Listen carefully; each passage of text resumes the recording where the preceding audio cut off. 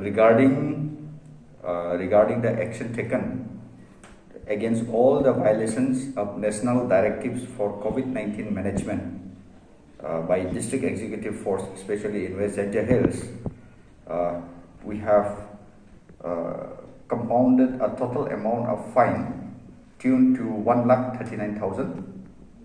That is for violation of national directives for COVID-19 management, and we have another violation, which is called violation of lockdown measures. So that also we have around uh, 20 plus cases which we have uh, detected, and the fine has been realized around 17,500.